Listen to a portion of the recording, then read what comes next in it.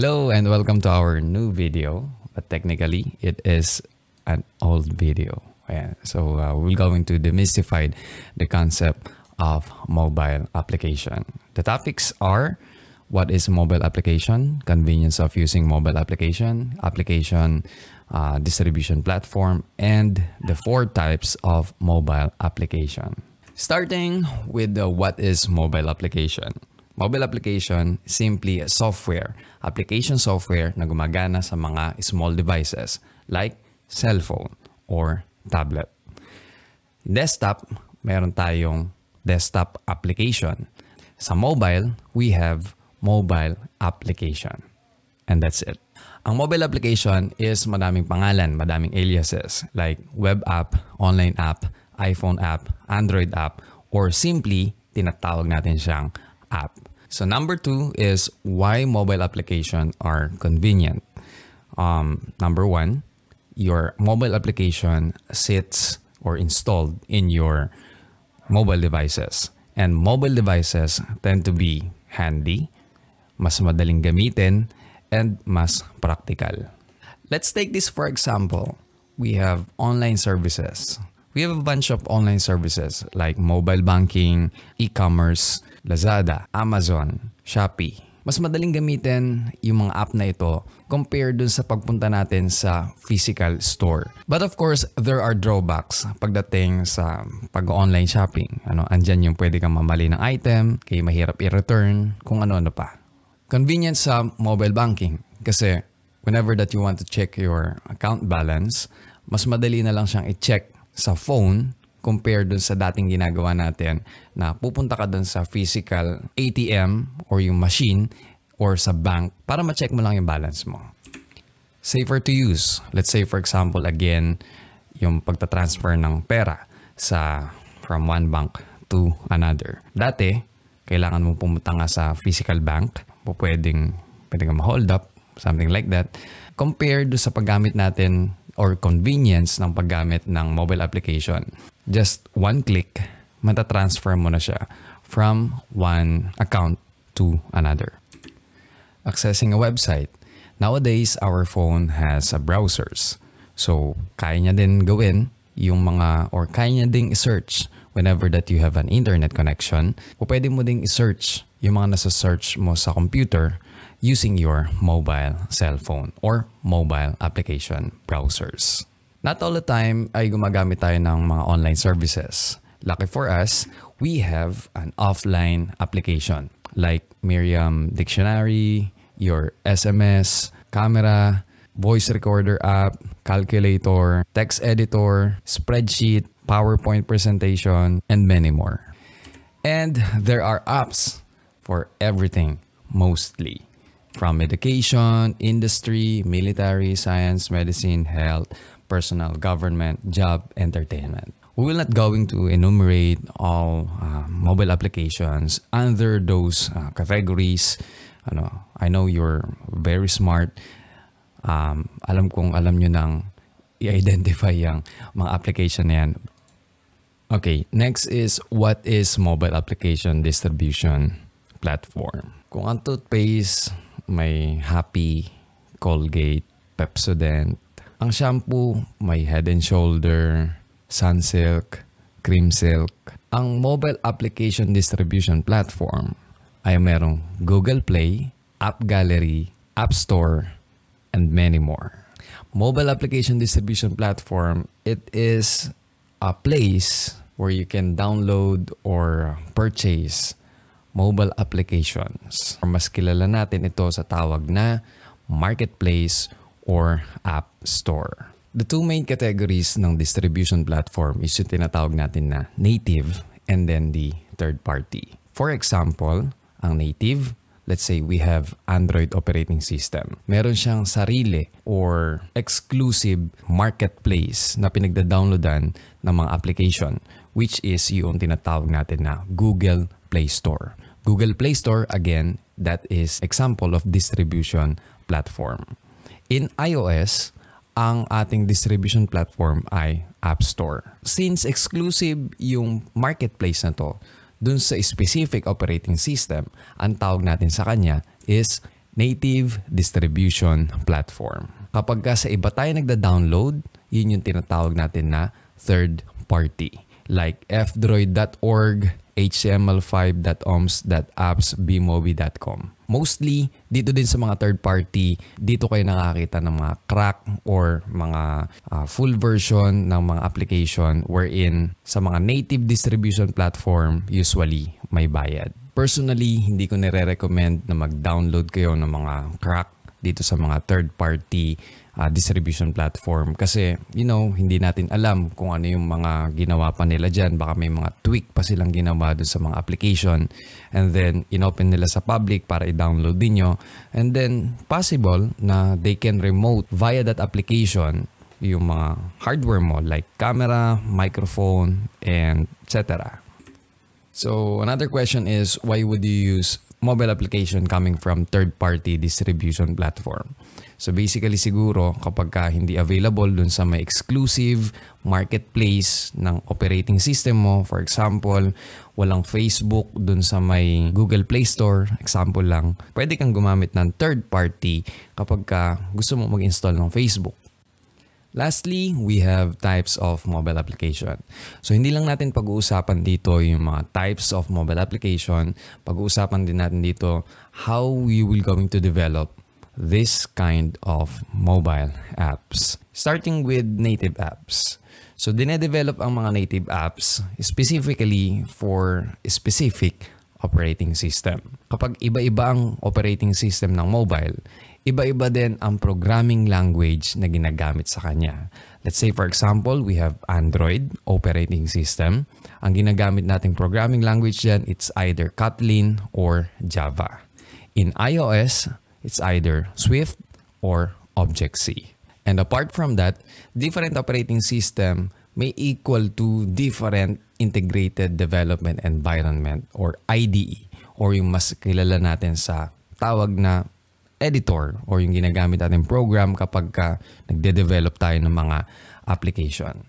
So for example, sa Android apps, kung gagawa tayo ng Android apps, ang gagamitin natin dyan is Android Studio. Kung mag-develop naman tayo ng iOS, ang gagamitin nating application or IDE is yung Xcode. Unfortunately, you cannot install Xcode sa mga Windows operating system. Unlike Android Studio na po pwede mong i-download at i-install sa Mac, Linux, and even of course sa Windows. In summary, kung gusto mong mag-develop ng application and then maging available siya sa Android and iOS, kailangan marunong kang mag-Kotlin or Java or Swift or Object-C. And then of course, yung gagamitin mong computer, kailangan naka-ready din. Dahil hindi ka lang sa Windows magde-develop, pati sa Mac OS. Okay, now let's proceed to uh, benefits of uh, developing native mobile application. Number one, we have familiar look and feel.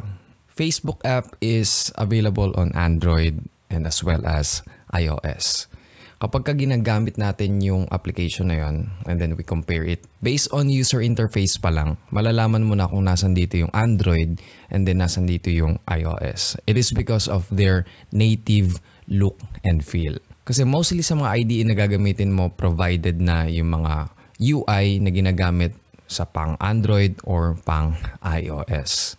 Better performance and more security will going to refrain that because we will going to discuss first the hybrid mobile application. Sunod na muna natin si web-based or web apps. Ang mga web apps ay ina-access via browsers. So we're in, magta-type tayo ng website natin or IP address sa address bar ng browser ng phone And then, kung ano yung lalabas doon, yun yung kinukonsider natin as web apps. Uh, kailangan mo ng internet connection para mapagana yung mga web apps na ito. And then basically, they are written in HTML, CSS, JavaScript, or other web technologies. Depende kung kumukonect siya sa database. But if it is a static web apps lang, HTML, CSS, and JavaScript can do the work. So kung iisipin natin, basically yes, it is a website lang po or it is a responsive website na gumagana or compatible sa mga maliliit na device. Ang mga website natin before is uh, hindi naman siya talaga magandang tignan kapag ka sa mga maliliit na devices. Since nauso yung mga small devices, so kailangan mag-adapt ng mga website sa te- new technology na nag-emerge katulad nga nitong smartphone. So ang ginawa nila, ano, instead of creating a native application, ginawa nilang responsive yung kanilang website para maging aesthetic hindi masira or magsabog-sabog yung content ng kanilang website kapag ka sa maliliit na screen na. And of course, as the technology emerged, nagkaroon tayo ng another na parang web-based or web apps din. Tinawag siyang progressive web apps or PWA. Sabi nga dito, it is similar with web applications. So similar siya sa paggawa, similar siya dun sa may na gumagamit pa rin ng browsers para uh, para mapagana natin tong application na ito more superior and consider the future of the mobile web. So basically, parang imagine na lang natin si web apps on a steroid. PWA can utilize JavaScript framework. For the benefits of using PWAs, um, meron siyang native experience or kaya niyang i-imitate yung native experience na meron dun sa mga native application. It is because of the usage or the utilization of JavaScript frameworks. It can also uses uh, offline mode but not totally offline mode. So let's say for example sa web apps natin, yung number two, kapag ka um, nagbabrowse ka sa web, and then naw- nawalan ka ng internet connection. So lalabas yung dinosaur, yung T-Rex, no internet connection. And then hindi ka na ma- hindi mo na makikita yung user interface. Hindi mo na makikita yung website. But in PWA, whenever that you go offline and then nakapag-load ka ng mga iilan na pages on their website, pwede mo pa siyang ma-access kasi nasa-save yun sa cache or memory ng phone na ginagamit mo. And then also, ang mga PWAs and web application ay hindi na gumagamit ng mga distribution platform. Kumbaga, hindi na sila ina-upload kasi wala naman silang installer. Hindi naman sila nako-convert into APK unlike native and hybrid. So meaning to say, they are distribution platform free. Hindi mo sila makikita sa marketplace ng cellphone mo. And lastly, we have crossbreed or yung tinatawag natin na hybrid apps. It is a combination of web apps and native app technology. That's why tinawag siyang hybrid. So, ginagamit natin yung web technologies like HTML, CSS, JavaScript, and then frameworks para ma-adapt yung itsura, look and feel ng native app technology. Yan. So, and then of course, we're going to use Ionic in this course. Furthermore, uh, crossbreed or hybrid apps can access native features ng mga cellphone natin, yung mga hardware devices natin like Touch ID, camera, buttons like home, power, volume up, volume down. So po pwede nating kontrolin yon sa hybrid na hindi kayang kontrolin when you are using web apps. And of course, given yun na makokontrol mo yung mga hardware na ito whenever that you are going to develop a native application. By the way, there are a lot of frameworks na po pwede nating gamitin alternative to Ionic. But again, in this course, magfo-focus tayo dito kay Ionic. So, si Ionic, gumagamit siya ng uh, web view para ma-load si JavaScript, HTML, and CSS sa mobile phones po natin. So basically, parang nangyayari dito is naka full screen and then hindi na tayo kailangan mag-type ng web address or website or IP address and of course hindi na tayo kailangan gumamit ng uh, browsers kapag ka naka-hybrid mobile application na tayo. So the benefits of using hybrid mobile application, you can enhance the user experience and as well as the user interface. Since gumagamit tayo ng HTML, CSS, and different kinds of JavaScript framework, marami tayong customization na magagawa. And with that, mas ma-enhance nga natin yung user experience and user interface.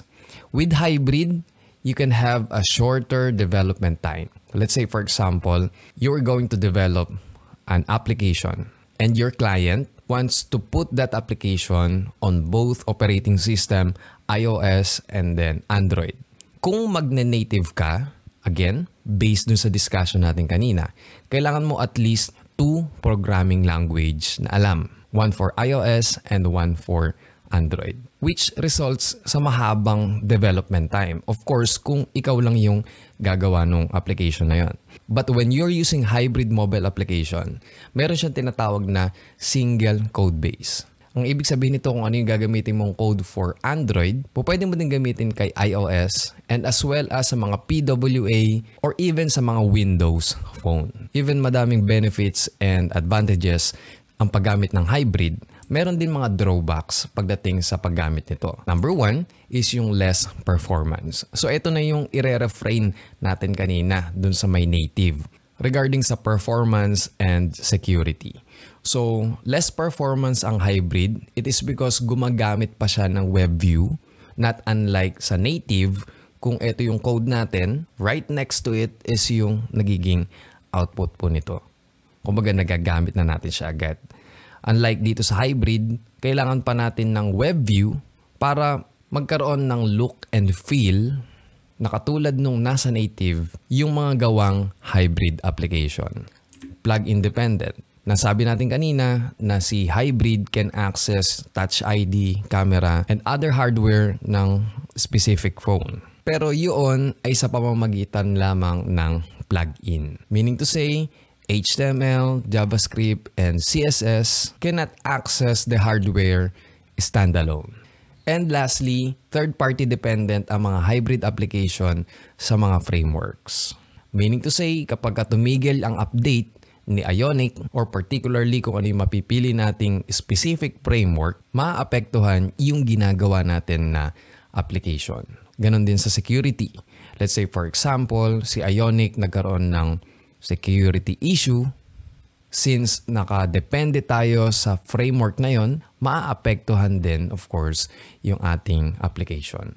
Alright, that's the end of the uh, lesson 1, concept of mobile application demystified. Thank you.